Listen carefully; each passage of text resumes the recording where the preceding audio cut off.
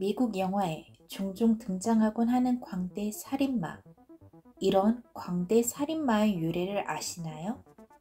미국인들에게 광대는 한편으로 공포의 대상이 되기도 합니다. 미국인들에게 광대가 공포의 대상이 된 시작이 있는데요.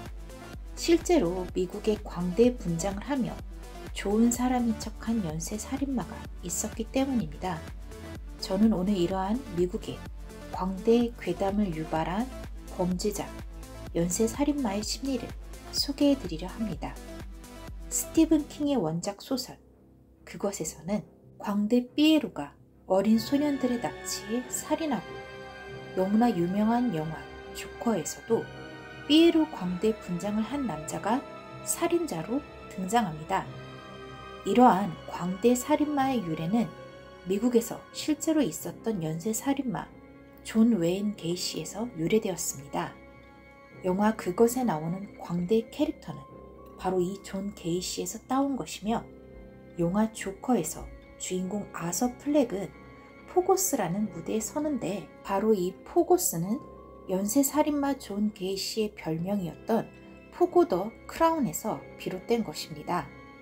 이러한 존 게이시의 이야기를 제가 다루려는 이유는 존 게이시를 통해 인간관계의 피해자가 어떻게 악인이 되었는지를 설명할 수 있기 때문입니다. 존 게이시는 무려 33명의 아무 죄 없는 소년과 청년들을 강제로 성범죄를 저지른 후에 고문하고 살인했습니다. 그런 존 게이시의 또 다른 면은 성공한 사업가, 친절한 이웃이었습니다. 존 게이시가 무려 33명의 소년과 청년들을 살해하는 동안 이웃들은 심지어 경찰조차도 존 게이시를 전혀 의심하지 못할 만큼 존 게이시는 성공한 사람이었죠. 그는 지역 내 정치인들과 교류했고 많은 돈을 벌었고 심지어 아내와 자식을 둘이나 둔 평범한 남자였습니다. 그런 그가 알고 보니 남세계 살인마라는 게 밝혀지자 미국 사회는 충격에 빠지게 되었습니다. 존 게이시는 1942년에 시카고에서 태어났습니다. 게이시는 어린 시절 아버지로부터 심한 학대를 당했습니다. 그의 아버지 스탠리는 그가 아주 어릴 때부터 그를 못마땅하게 여겼고 게이시의 개성을 존중하기보다는 게이시를 다른 자식들과 비교하며 비난하고 괴롭혔습니다. 게이시의 아버지는 몸이 아픈 게이시를 치료해주려 하기보다는 게이시가 허약하고 남자답지 못하다고 매우 비난했습니다. 게이시의 아버지는 게이시를 이름이 아닌 시시라고 불렀는데 바로 이 시시의 뜻은 계집애 같은 놈이라는 의미입니다. 게이시의 아버지는 딸들에게는 다정한 아빠였지만 게이시에게만 유독 폭력적으로 굴었고 이로 인해 게이시는 소외감을 느껴야 했습니다. 스탠리는 술만 마시면 게이시를 지하실로 데려가 폭행하는 것으로 스트레스를 풀었습니다. 스탠리는 게이시를 협대, 망치, 스패너 등으로 잔인하게 때렸고 게이시가 잘못을 하면 가죽으로도 때렸습니다. 그러다 게이시는 소년 시절 아버지 친구의 공업사에서 아르바이트를 했는데 아버지 친구는 게이시를 차 안으로 끌어들이더니 소년인 게이시에게 수차례 성범죄를 저질렀습니다. 그러나 그럼에도 게이시는 신고하지 못했는데 그 이유는 신고를 하게 되면 아버지 스탠리가 자신에게 화를 내게 두려워서였습니다. 그 후 게이시는 동성애 성향을 가지게 되었지만 카톨릭 집안에서 그런 성향을 들키면 큰일 날까 두려워 게이시는 그런 성향을 최대한 감춘 채 살아가게 됩니다. 게이시는 탁월한 노력과 지능으로 노스웨스트 대학교에 입학하지만 겁이 많은 게이시를 못마땅하게 여긴 게이시의 아버지는 게이시를 강제로 장례식장에서 아르바이트 하게 합니다. 그렇게 장례식장에서 아르바이트 하는 동안 게이시는 집으로 들어가지 못한 채 방부 처리실 뒤에 있는 간이 침대에서 웅크린 채 혼자 시체들과 함께 잠을 자야 했습니다. 석 달 동안 그렇게 장례식장에서 혼자 잠을 자던 게이시는 우연히 죽은 10대 소년의 시체에 관에 들어가 잠을 자게 됩니다. 이때 게이 씨는 처음으로 남자의 몸을 만지게 됩니다. 그것도 죽은 남자의 몸을. 그 후 게이 씨는 KFC 매니저로 취직하게 되어 성공을 맛보게 되고 수억 원의 연봉을 받게 됩니다. 게이 씨는 자신의 동성애 성향을 숨기고 KFC 사장의 딸과 결혼을 하게 됩니다.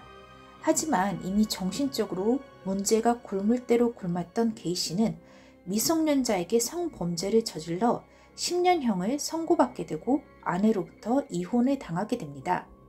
성숙한 인간이라면 자신이 성범죄를 저질러서 이혼을 당하게 되면 이혼당한 이유가 자신에게 문제가 있다고 생각을 할 수 있지만 게이 씨는 미성숙하고 이기적이었기 때문에 아내로부터 이혼당한 것 또한 철저히 자기가 버려진 것이라고 생각하고 이때부터 더더욱 망가지게 됩니다.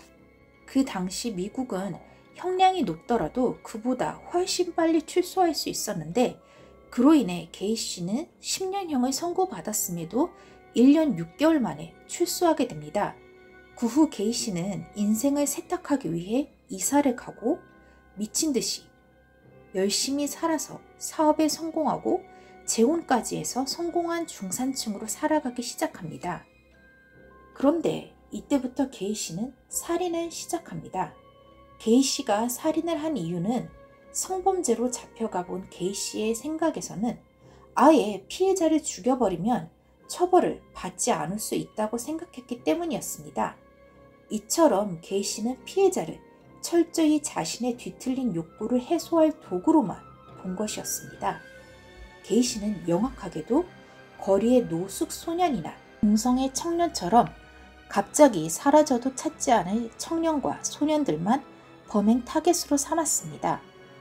당시 미국에서 동성애는 사회적으로 허용되지 않았는데 게이 씨는 이 점을 이용해서 보호받지 못하는 청년과 소년들을 주로 범죄 타겟으로 삼은 것이었습니다. 그렇게 게이 씨는 취직을 시켜준다든지 경찰 행세를 해가며 무려 33명의 청년과 소년들을 자신의 집으로 데려와 성범죄를 저지른 뒤 고문 후 살해해 자신의 집 바닥 밑에 숨겨두었습니다. 더 경악할 것은 게이시는 자신의 범죄 타겟이 된 피해자를 죽일 때 목을 노끈으로 묶은 뒤 천천히 피해자가 죽어가는 것을 즐기며 보았다는 것입니다. 이러한 게이시의 범죄가 탄로나게 된 계기는 로버트 피스트라는 15세 소년을 취직시켜 주겠다고 게이시가 유인해서 데려갔는데 피스트는 거리의 노숙 소년이 아니라 가족이 있었고 피스트가 집에 나가면서 그의 어머니에게 취직 자리를 알아보러 간다고 했고 경찰이 피스트가 간다던 약국에 가서 확인해 보니 목격자가 피스트가 한 남자의 차를 타고 갔다고 증언했고 그 차의 주인이 게이 씨라는 게 밝혀진 것입니다. 그러나 게이 씨는 그 당시 지역 사회의 공헌자이자 유명 인사였고 경찰조차 게이 씨가 범인이 아닐 거라고 생각했지만 게이 씨에게 과거 미성년자 소년을 대상으로 한 성범죄 이력이 있다는 사실이 밝혀지고 기나긴 추적 끝에 게이 씨의 집을 파보니 집 바닥 아래에서 다수의 시체가 발견되어 이윽고 게이시가 33명의 청년과 소년들을 살해한 사실이 밝혀진 것입니다. 사실 존 게이시 살인 사건은 세상에 어느 정도 알려진 사건이기 때문에 제가 단지 존 게이시라는 연쇄 살인마가 있다는 사실을 말하기 위해 이 영상을 제작한 것은 아닙니다. 이 영상은 존 게이시의 이상 심리를 밝히기 위해 만든 것입니다. 게이시는 왜 이리 극악무도한 연쇄 살인자가 된 것일까요? 그는 분명 피해자였는데 말입니다. 게이시가 잡힌 후 그의 어린 시절에 대해 밝혀지게 되었고 그가 어린 시절 아버지로부터 지독한 괴롭힘을 당했다는 것이 밝혀지게 되었습니다. 그런데도 불구하고 그는 자신을 괴롭힌 아버지보다 어머니에 대한 미움을 드러냈습니다. 그는 오히려 자신을 대놓고 괴롭히고 때린 아버지에게는 미안함을 드러낸 반면 어머니는 자신을 제대로 보호해주지 않았다며 미워했습니다. 이러한 존 게이시의 심리는 오히려 자신을 괴롭힌 가해자의 편에 서서 세상을 바라보는 이상 심리라 할 수 있습니다. 사실 상식적으로는 게이시의 정신이 망가진 것은 그를 학대한 아버지의 책임이 있고 그렇기 때문에 게이시는 아버지를 미워하는 게 맞습니다. 그러나 게이시는 소년원에서 그의 아버지 스탠리가 간경화로 죽었다는 소식을 듣고 무척이나 슬퍼하고 오열했습니다. 그는 아버지에게 인정받는 것을 인생의 목표라 생각했기 때문입니다. 게이 씨가 자신의 인생에서 완벽한 순간이라 꼽은 것은 그가 아이오와에서 가정을 꾸리고 두 명의 아이를 두었을 때 그를 학대한 스탠리가 찾아와 게이 씨의 능력을 인정했을 때였습니다. 이처럼 게이 씨는 자신이 당했던 학대와 트라우마에서 벗어나지 못하고 오히려 자신을 괴롭힌 족쇄에서 벗어나기보다는 그 족쇄를 스스로 더 올가매면서 끊임없이 남에게 인정받고 자신의 가치를 증명하기 위해 발버둥을 쳤습니다. 그 결과 그는 그가 저지른 살인의 범죄 행각이 들키지 않았더라면 미 하원 의원이 되었을 수 있었을 정도로 성공한 삶을 살았지만 그만큼 그의 내면에 자리한 그림자는 더 커지게 된 것이었습니다. 그가 살인했던 건 수많은 젊은 남자들이었지만 사실 그것은 게이씨 자신이었습니다. 게이씨는 끊임없이 발버둥 치고 노력해서 가정을 꾸리고 자식들을 두고 돈을 벌고 사람들에게 인정받았지만 그의 영혼은 회복되지 못했습니다. 그는 아버지와의 관계에서 마주했던 그 시절을 그 트라우마를 벗어나지 못했던 것입니다. 그래서 게이 씨는 그 기억 속에 자신을 부정하기 위해 자신 대신 다른 희생자를 괴롭히고 고문한 것입니다. 그 자신이 가해자가 되어서 말이죠. 게이 씨의 아버지는 지하실에서 게이 씨를 학대했고 게이 씨는 그 행동들을 다른 희생자에게 반복해서 재현한 것입니다. 게이 씨는 어린 시절 당했던 그 공포에서 벗어나지 못했습니다. 게이 씨는 어린 시절 자신의 아버지가 어쩌면 자신을 죽일 수 있다는 공포를 느꼈고 그 공포는 게이 씨가 성장해서 어른이 되고 성공한 후에도 사라지지 않았고 게이 씨가 죽이고 묻은 시체들은 바로 자신의 고통을 대신한 사람들이었던 것입니다. 사실 나쁜 사람은 그를 때린 아버지인데 그는 오히려 나약한 자신을 원망하고 그래서 나약했던 자신을 부정하고 벗어나기 위해 자기가 학대자인 아버지가 되어 다른 사람을 학대한 것입니다.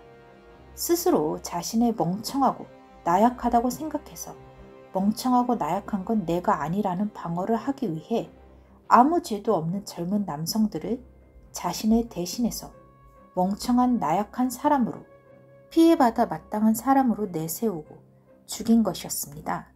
그렇게 해서 게이 씨는 심리적인 위험에서 일시적으로 탈출하고 계속해서 우월한 사람으로 살아갈 수 있었던 것이죠. 게이 씨는 비록 성공한 유명 인사였지만 결코 트라우마에서 벗어날 수 없었던 것입니다. 게이 씨가 10대이던 시절 스탠리는 망치로 게이 씨의 머리를 내리친 적이 있었습니다. 그로 인해 게이 씨는 머리에 상당한 손상을 입었고 그를 진료했던 의사는 그가 결코 그 외상을 회복할 수 없을 거라 진단할 만큼 그는 그 당시에 머리에 큰 충격을 받았었습니다. 그만큼 게이 씨는 정신적으로 큰 고통을 겪었고 그런 고통을 겪어도 그 누구에게도 공감받지 못하며 성장의 어른이 되었습니다.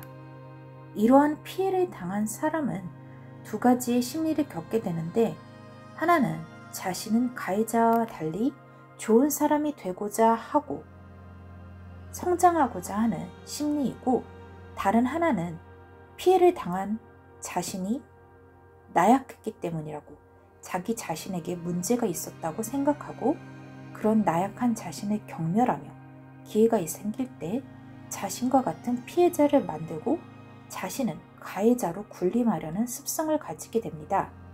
게이시는 자기 자신이 가해자의 마음에 공감했고 가해자인 아버지 스탠리의 입장에서 자신과 세상을 바라봤던 것입니다. 그래서 그는 나약한 자신을 경멸하고 피해자에게 벗어나기 위해 스스로 가해자가 되는 것을 선택한 것입니다. 자신을 괴롭힌 가해자와 달리 좋은 사람이 되고자 하는 마음은 마음의 상처를 회복하는 데 도움이 되지만 피해자인 자신을 스스로 경멸하고 자신 대신 다른 사람을 피해자로 만들려는 심리는 범죄를 저지르게 됩니다. 이렇듯 피해자 중에는 아이러니하게도 자신을 괴롭힌 가해자를 미워하기보다 가해자의 우월한 위치를 동경하고 자기 스스로 가해자가 되어 또 다른 피해자를 만들려는 사람도 있습니다. 게이시의 아버지 스탠리는 베트남 전쟁에 참전하여 무수한 죽음을 목격했고 그 트라우마와 스트레스를 해소하는 방법으로 아들인 게이시를 괴롭혔고 게이시 역시 자신의 트라우마와 스트레스를 해소하는 방법으로 무고한 피해자를 사냥감 삼아 괴롭히고 죽였던 것입니다. 그들의 마음 속에는 항상 죽어야 하는 것은 내가 아니야. 이런 마음이 있었던 것입니다. 피해의 공포, 트라우마에서 벗어나는 방법으로 스스로 가해자가 되는 이들이 있는데 존 게이시가 바로 그러했던 것입니다. 불우한 성장기를 보낸 게이시는 정상적으로 자기 자신으로 살지 못했고 오직 남에게 인정받고 자기 가치를 입증해야만 살아남을 수 있다고 무의식적으로 여겼던 것입니다. 그래서 그는 아득바득 성공했지만 그래서 아버지에게 인정받는 완벽한 순간도 맛봤지만 그의 내면은 언제나 불안하고 공허하고 텅 비었던 것입니다. 그는 그의 아버지 스탠리가 죽은 뒤에도 계속해서 대인 관계에서 아버지에게서 겪었던 두려움을 벗어날 수 없었습니다. 겉으로 그는 우월한 사람인 척 오만하게 굴었지만 그가 그렇게 다른 사람을 통제하려고 하고 오만하게 굴었던 건 그만큼 불안했기 때문입니다. 마음이 불안한 사람일수록 상황을 통제하지 않으면 못 견디는 습성을 가집니다. 게이 씨는 그렇게 대인관계 속에서 스트레스를 겪으면서도 겉으로는 완벽한 사람인 척 행세해야 했기 때문에 에너지가 많이 필요했고 그 모든 두려움을 극복하고 에너지를 채우는 방식으로 자신이 가진 내면의 두려움을 무고한 피해자에게 떠넘기고 자신은 벗어난 과정을 거쳐야 했던 것입니다. 그것이 게이 씨의 생존 방식이었고 그것은 살인이었던 것입니다. 게이 씨는 친근한 이웃인 척 광대 분장을 하며 사람들 앞에서 좋은 사람인 척 행세하고 웃었습니다. 그리고 사형수가 된 후에는 2천장이 넘는 삐에로 광대 그림을 그렸습니다. 그가 그토록 집착했던 광대 분장은 사실은 진짜 자기 얼굴과 표정을 보여줄 수 없었던 자신의 마음을 표현한 것이었습니다. 사실은 내면이 혼란스럽고 괴롭고 불안하지만 그런 진짜 얼굴을 감추고 웃으며 좋은 사람인 척 행세하던 그는 밤이 되어 살인자가 되었을 때 진짜 자신의 모습을 드러내고 살인을 통해 다시 감추고 아침에는 다시 웃는 광대가 되어 사람들에게 좋은 사람으로 굴었던 것입니다. 이처럼 인간에게는 모순된 심리가 있습니다. 자기에게 나쁘게 군 사람을 미워하거나 거리를 두는 게 아니라 오히려 그런 사람을 동경하고 과학자에게 인정받으려는 심리를 갖게 됩니다. 이것은 잘못된 심리이고 이러한 심리 상태에서는 절대로 행복해질 수가 없습니다. 그러나 우리 주변에는 이러한 잘못된 심리를 가진 사람들이 곳곳에 숨어 있습니다. 어떻게 보면 지나칠 정도로 좋은 사람, 완벽주의자는 사실은 평범한 사람이라면 가지고 있어야 하는 자아가 결핍된 사람일 수 있습니다. 우리가 우리를 힘들게 하는 사람과 거리를 두고 그 대상을 미워해야 하는 이유는 여기에 있습니다. 인간의 에너지는 한정되어 있습니다. 마음의 에너지도 한정되어 있습니다. 정말 에너지가 유별나게 커 보이는 사람은 사실 그만큼 마음의 족쇄가 큰 사람일 수 있습니다.